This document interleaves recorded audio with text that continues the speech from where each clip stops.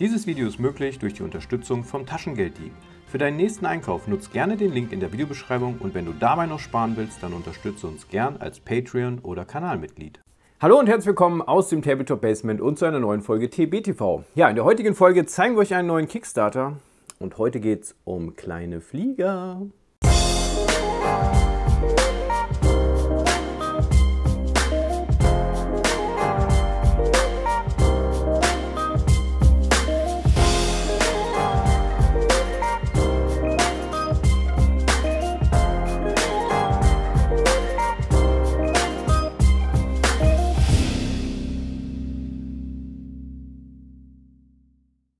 Ja, herzlich willkommen zurück auf unserem Kanal und heute stelle ich euch mal einen Kickstarter vor, der nämlich am heutigen Tag startet. Und zwar geht es um das Spiel Air Raid 3646. Ich muss ein bisschen ausholen. Ich habe dieses Projekt tatsächlich einige Monate auf äh, Facebook verfolgt und dachte mir so, hm, okay, mh, mh, da kommt ein neues Fliegerspiel. Sieht ja ganz nett aus, kommt aus deutscher Hand und äh, ja, es kommt tatsächlich aus deutscher Hand, denn äh, unter anderem steckt dort Herr 46 mit drin. Herr 46 kennen wahrscheinlich viele von äh, ja, den erfolgreichen Kickstarter-Kampagnen, die die Jungs gemacht haben damals. Super geile Miniaturen, äh, geile Miniaturen-Ranges gemacht und natürlich alles an Zurüstteilen, die es irgendwie nicht so gab und so ein bisschen abgefahrene Sachen. Und äh, ja, und dann war ein bisschen Pause um Herr 46. Und jetzt kommen sie zurück mit einem neuen Spiel. In Zusammenarbeit mit einem gesamten Team, unter anderem steckt dort auch der Barbeck dahinter, ein leidenschaftlicher Tabletop-Spieler, seit vielen, vielen Jahren im Hobby unterwegs und äh, die haben sich zusammengefunden und haben ein neues Game gemacht. Ja, und das Ganze nennt sich Air Raid 36 bis 46 und äh, ja, ich werde euch heute mal ein bisschen was darüber erzählen.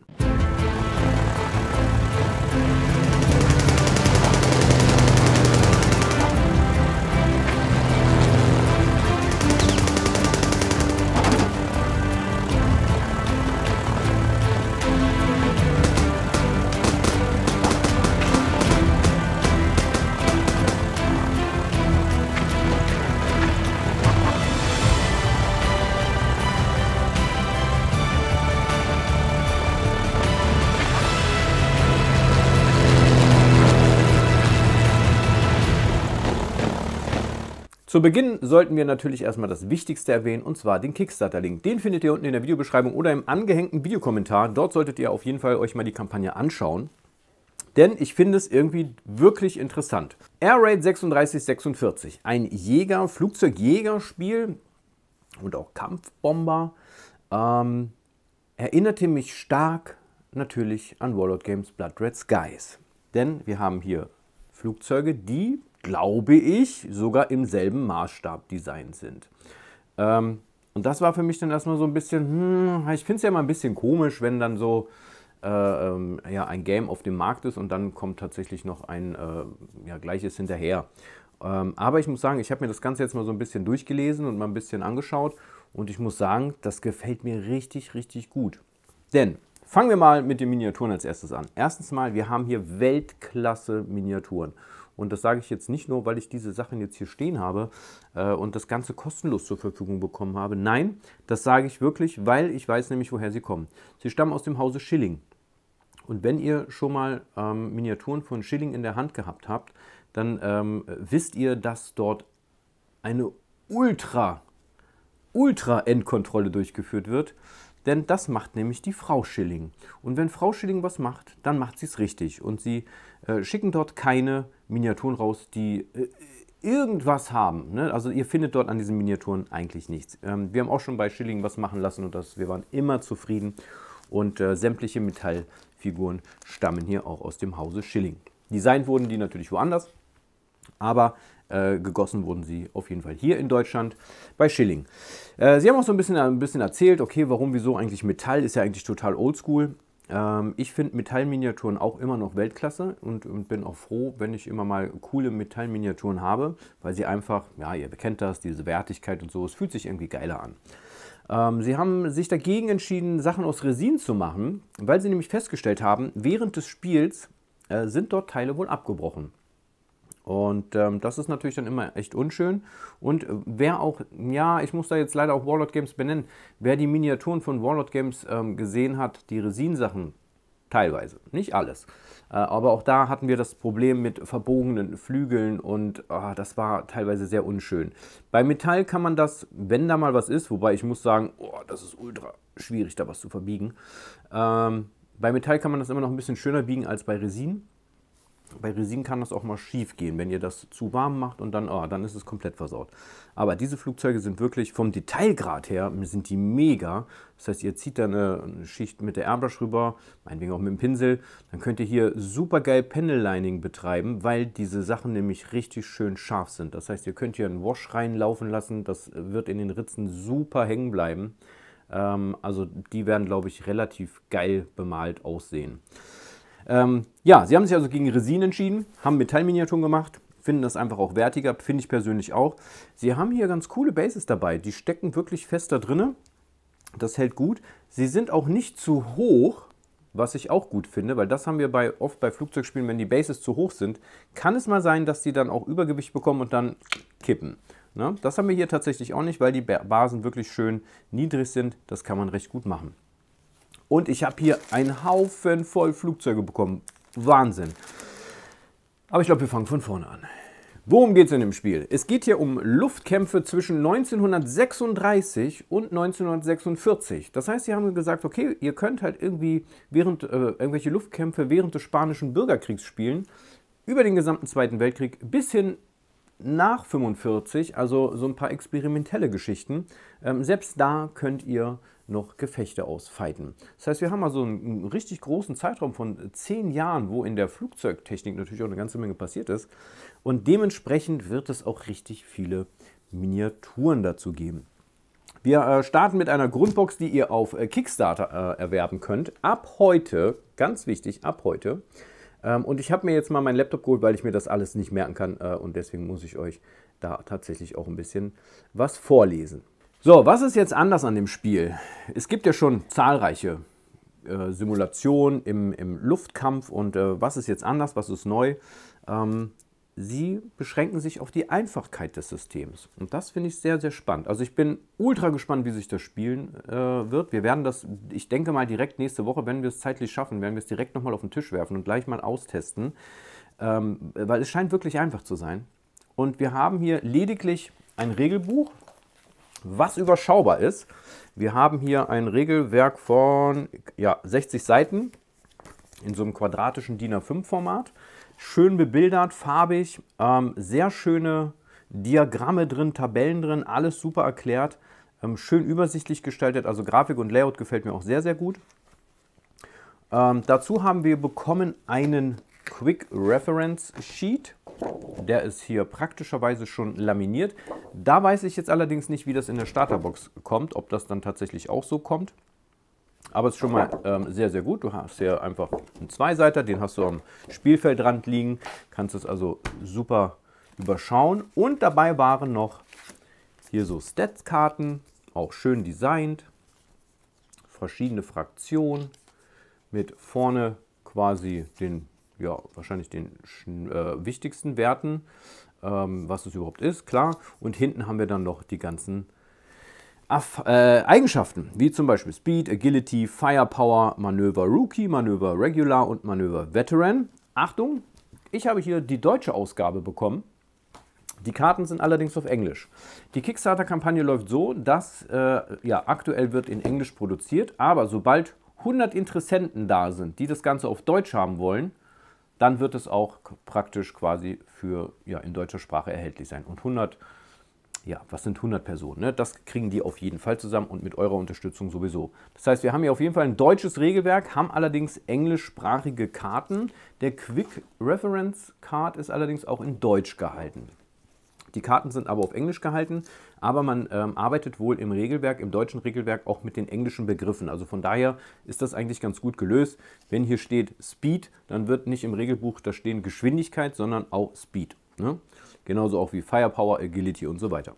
Das ist also ganz gut, da kommt man dann auch ganz gut mit. Das heißt, wir haben hier auch nochmal Packen schön designte Karten. Das ist wahrscheinlich das Einzige, was man dann hier vom Spieltisch liegen hat. Finde ich sehr, sehr gut. Und wir haben ein paar Marker. Und das ist wirklich mega überschaubar. Das sind hier so kleine Holzplättchen in zwei verschiedenen Farben. Einmal äh, gelb und einmal rot. Jetzt bin ich gerade überfragt, ist das jetzt wirklich Holz oder ist das tatsächlich Acryl? Ähm, ne, das könnte auch tatsächlich Acryl sein. Oder es ist beklebtes Holz. Naja, kann man mich ja nochmal in den Kommentaren darauf hinweisen, falls ich hier was gemacht habe, Fehler gemacht habe. Aber es fühlt sich irgendwie an wie, wie so Plastikkart. Finde ich auf jeden Fall besser äh, als Holz. Also ich hätte mir auch eine Acryl-Variante, könnte ich mir da gut vorstellen. Aber wir haben hier lediglich ja, zwei Marker mit verschiedenen Farben. Und das wird dann quasi im Regelwerk erklärt. Und das ist dann ganz easy. Sobald da irgendein Zustand auftritt, zack, kommt hier so ein Ding draufgelegt und fertig. Ihr müsst nichts mehr markieren, irgendwie hier auf Karten und abstreichen und wie das ja oft so bei so Simulationsgefechten oder auch gerade im, im, wenn ihr so Naval-Gefechte spielt, da müsst ihr da abhaken und so weiter.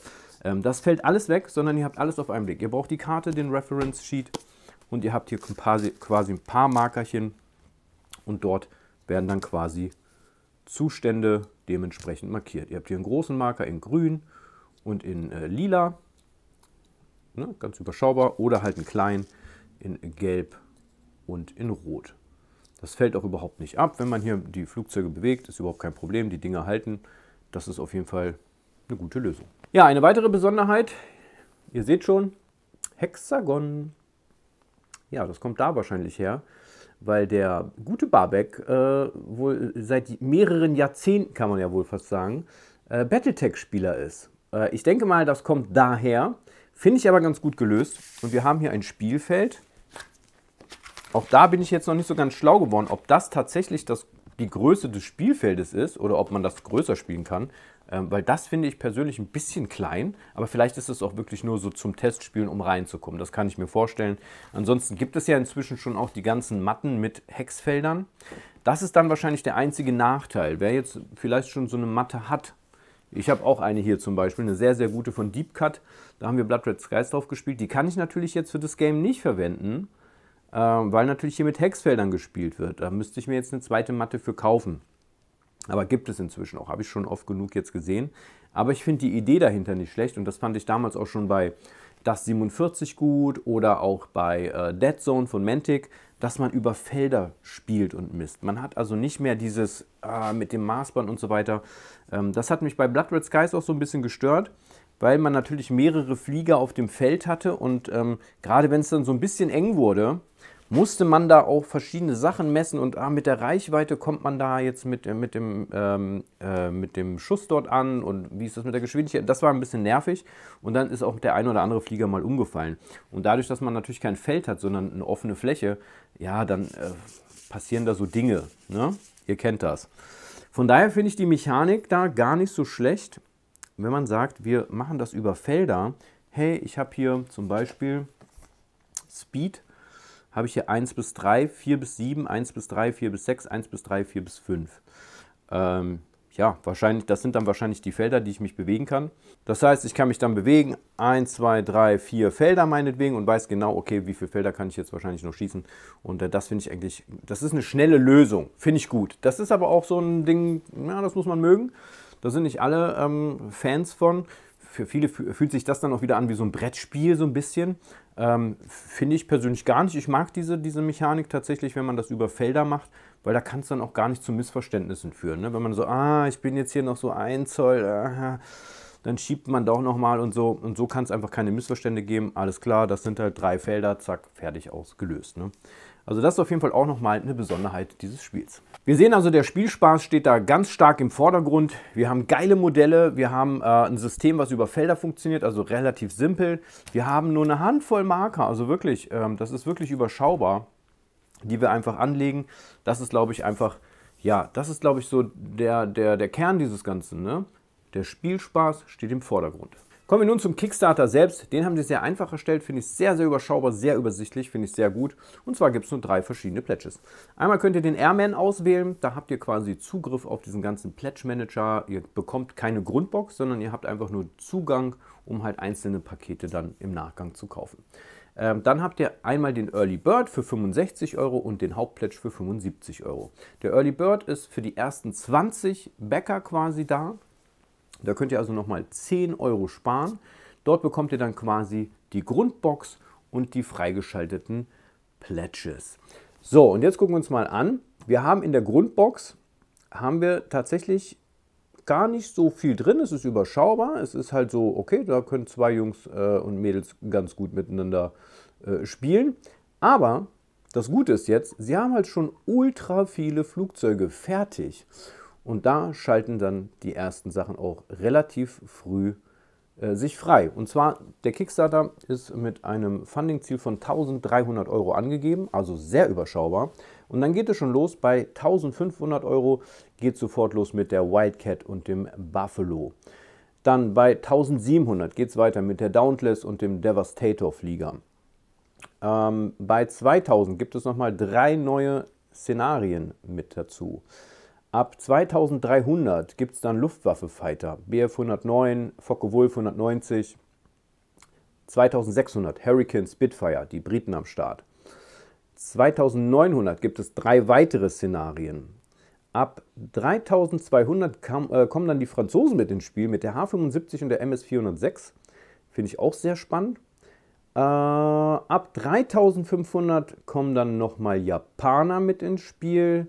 3800 neue Szenarien, 4200 ähm, gibt es weitere ähm, Fighter mit der i16 und der HE 112. Mustang, Hellcat, also oh, Wahnsinn. Und ab 5000 Euro gibt es dann das erste Modell und zwar einen Aircraft Carrier. Den haben wir auch schon hier. Und zwar haben wir den auch hier schon als Modell vorliegen. Also auch ein hübsches Zinnmodell. Und ich muss sagen, ey, allein diese MGs hier vorne, ja, die sind Millimeter und die sind so geil. Also da ist nichts verbogen, das ist ultra gerade, das ist, also da ist nichts, also sieht wirklich spitze aus.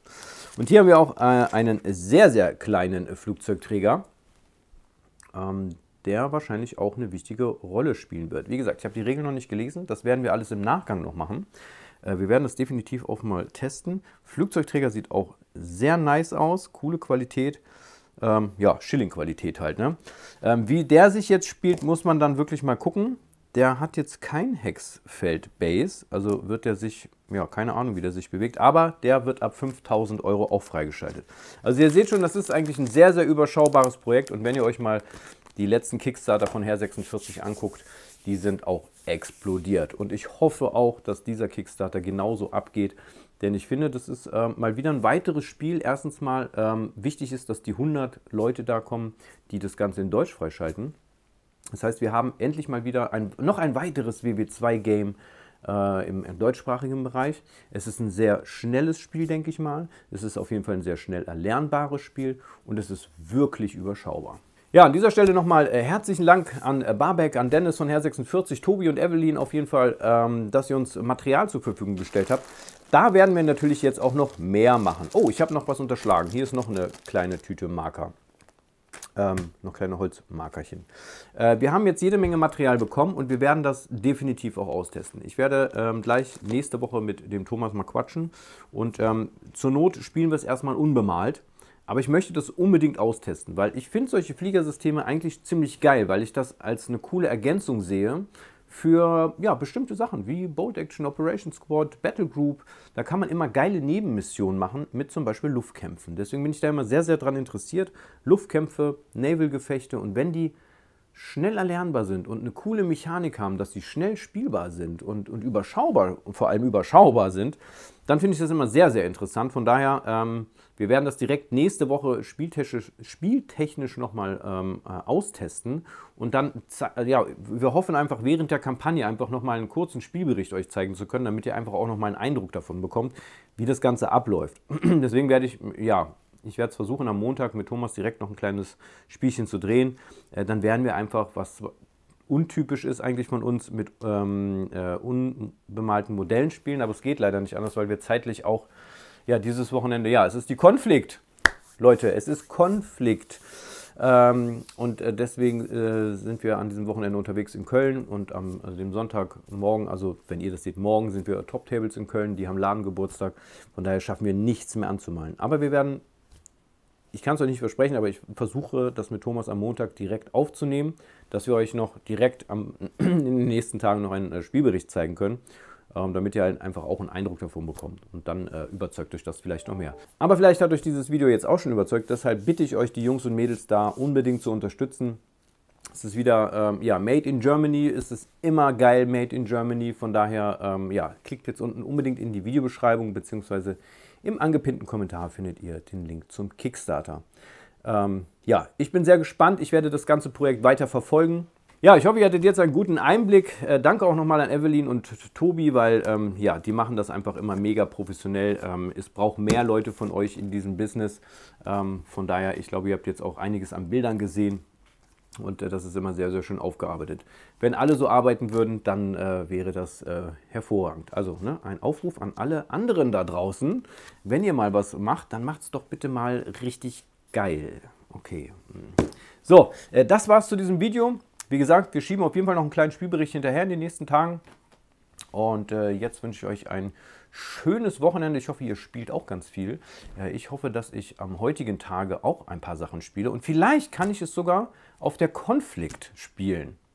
Das ist übrigens eine Idee. Ich, ich habe ja eh Kamerazeug dabei.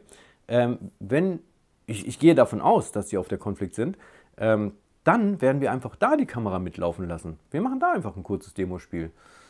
Vielleicht kriegen wir das hin. Ihr werdet es dann auf jeden Fall sehen. So, jetzt äh, verlasse ich äh, euch Nee, jetzt lasse ich euch. Naja, ich wünsche euch ein schönes Wochenende. Bis bald. Tschüss.